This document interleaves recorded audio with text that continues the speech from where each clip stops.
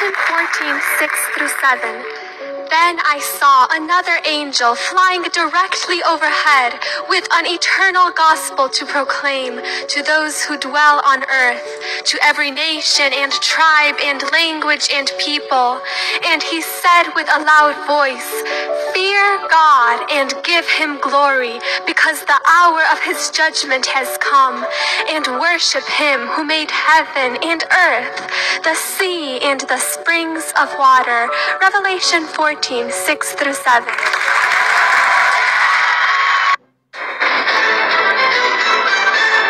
Carissa, please recite for us Romans chapter 5, verses 1 through 11. Romans 5 1 through 11. Therefore, since we have been justified by faith, we have peace with God through our Lord Jesus Christ.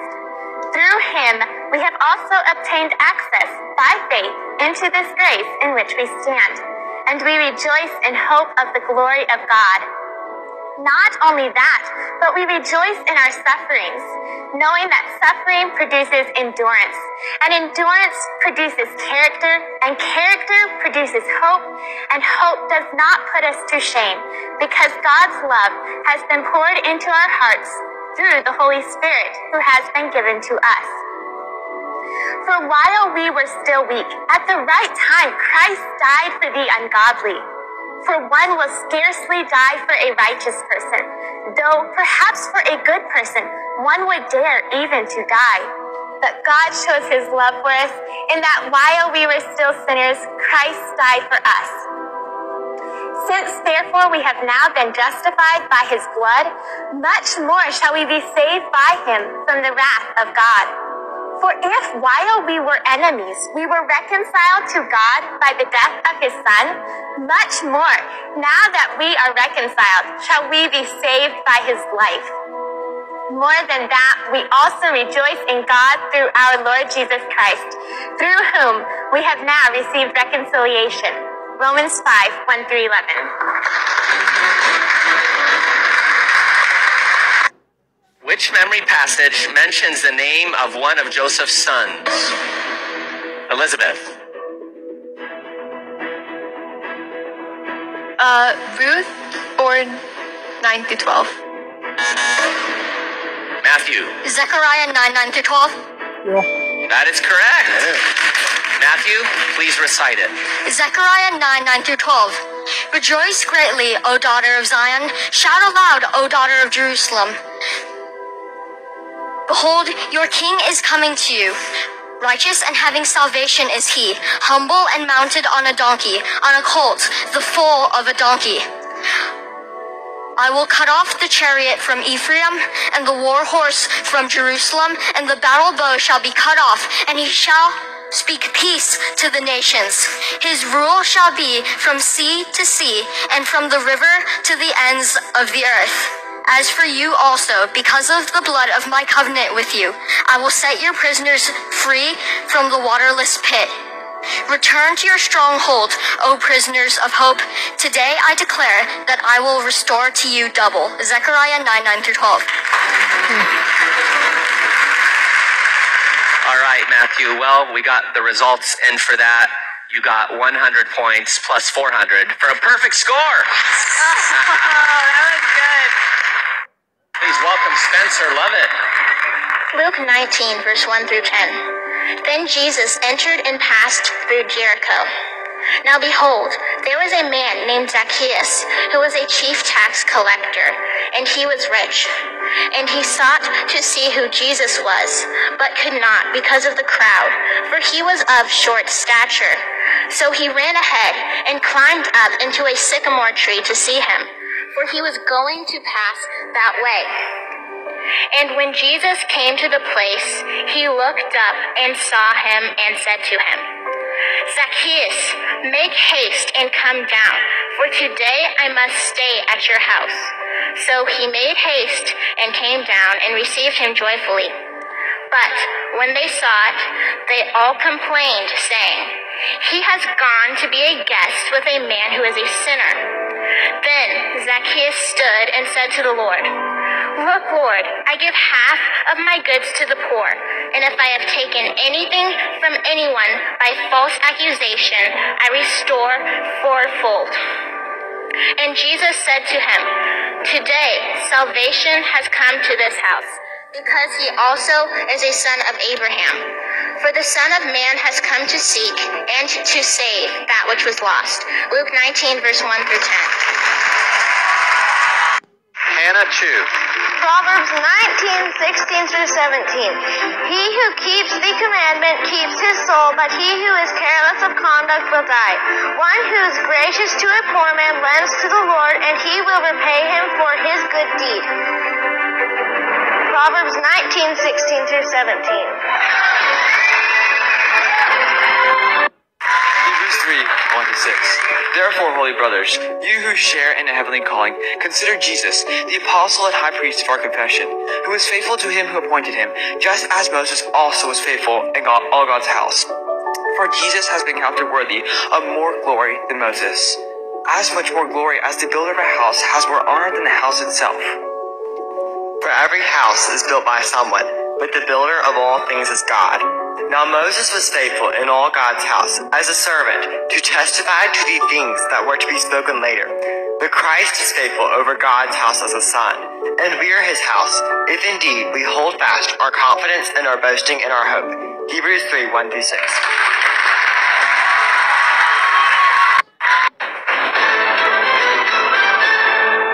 Please recite Deuteronomy 18, verses 15 through 19. Deuteronomy 18, 15 through 19. The Lord your God will raise up for you a prophet like me from among you, from your brothers. It is to him you shall listen, just as you desired of the Lord your God at Horeb on the day of the assembly, when you said, Let me not hear again the voice of the Lord my God, or see this great fire anymore, lest I die. And the Lord said to me, They are right in what they have spoken. I will raise up for them a prophet like you from among their brothers, and I will put my words in his mouth. And he shall speak to them all that I command him. And whoever will not listen to my words that he shall speak in my name, I myself will require it of him. Deuteronomy 18, 15 through 19. That was beautiful. Grace Christian. Acts 6, 1 through 7. And in those days, when the number of the disciples was multiplied, there arose a murmuring of the Grecians against the Hebrews, because their widows were neglected in the daily ministration. Then the twelve called the multitude of the disciples unto them, and said, It is not reason that we should leave the word of God and serve tables. Wherefore, brethren, look ye out among you seven men of honest report, full of the Holy Ghost and wisdom, whom we may appoint over this business. But we will give ourselves continually to prayer and to the ministry of the word. Saying pleased the whole multitude. And they chose Stephen, a man full of faith and of the Holy Ghost, and Philip, and Prochorus, and Nicanor, and Timon, and Parmenas, and Nicholas, a proselyte of Antioch, whom they set before the apostles. And when they had prayed, they laid their hands on them. And the word of God increased, and the number of the disciples multiplied in Jerusalem greatly. And a great company of the priests were obedient to the faith. Acts 6 1 through 7. Welcome back, Abigail Rice. John 12, 20 through 26. Now there were some Greeks among those who went up to worship at the festival. They came to Philip, who was from Bethsaida in Galilee, with a request. Sir, they said, we would like to see Jesus. Philip went to tell Andrew. Andrew and Philip in turn told Jesus. Jesus replied, The hour has come for the Son of Man to be glorified. Very truly I tell you, unless a kernel of wheat falls to the ground and dies, it remains only a single seed. But if it dies, it produces many seeds. Anyone who loves their life will lose it, while anyone who hates their life in this world will keep it for eternal life. Whoever serves me must follow me, and where I am, my servant also will be. My Father will honor the one who serves me. John 12, 20 through 26. 2 Samuel 22, 2 through 4. And he said, The Lord is my rock and my fortress and my deliverer, God of my rock. In him will I trust. He is my shield and the horn of my salvation, my high tower and my refuge. My Savior, thou savest me from violence. I will call on the Lord who is worthy to be praised. So shall I be saved from mine enemies. 2 Samuel 22, 2 through 4. Ogie. Luke 7 18 through 23. John's disciples told him about all these things. Calling two of them, he sent them to the Lord to ask, Are you the one who is to come? Or should we expect someone else? When the men came to Jesus, they said, John the Baptist sent us to you to ask, Are you the one who is to come, or should we expect someone else? At that very time, Jesus cured many who had diseases, sicknesses, and evil spirits, and gave sight to many who were blind. So he replied to the messengers, Go back and report to John what you have seen and heard. The blind receive sight, the lame walk, those who have leprosy are cleansed, the deaf hear, the dead are raised, and the good news is proclaimed to the poor. Blessed is anyone who does not stumble on account of me. Luke 7 18 to 23. Please welcome out Paisley Joy Hawkins. Psalm 40, 4 through 10. Blessed is that man that maketh the Lord his trust, and respecteth not the proud, nor such as turn aside to lies. Many, O Lord my God, are thy wonderful works which thou hast done, and thy thoughts which are to usward. They cannot be reckoned up in order unto thee. If I would declare and speak of them, they are more than can be numbered. Sacrifice and offering thou didst not desire mine ears hast thou opened. Burnt offering and sin offering hast thou not required. Then said I, Lo, I come. In the volume of the book it is written of me, I delight to do thy will, O my God. Yea, thy law is within my heart.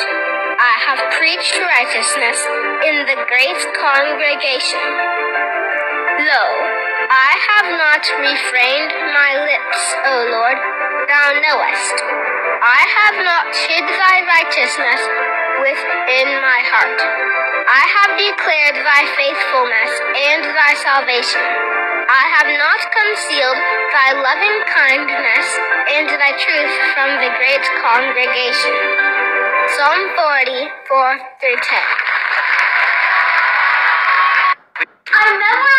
I study the Bible because I love Jesus. I love the Bible because it is full of good news. It helps me to know more about God and to honor Him in all that I say, do, and think. I love learning about God's faithfulness and His love for us. My Creator manifests Himself to me through it. It will help me to think about God more and do things that will please Him. It's a lamp unto my feet and a light unto my path. It helps me to know what to do whenever I'm in a tough situation. And it helps me know that God loves me. I want God's word to be written on my heart. The more and more I learn His word, the closer my relationship gets with Christ. It is His love letter to me. It is my life. Whenever I read it, I feel at peace. And it also comforts me in hard times. It speaks to us in every situation. I memorize it so that I can be reminded of those truths when I need them. At any time and any place to edify others and share the hope of salvation. I memorize and study the Bible. Are you ready to recite the Word of God? Yes.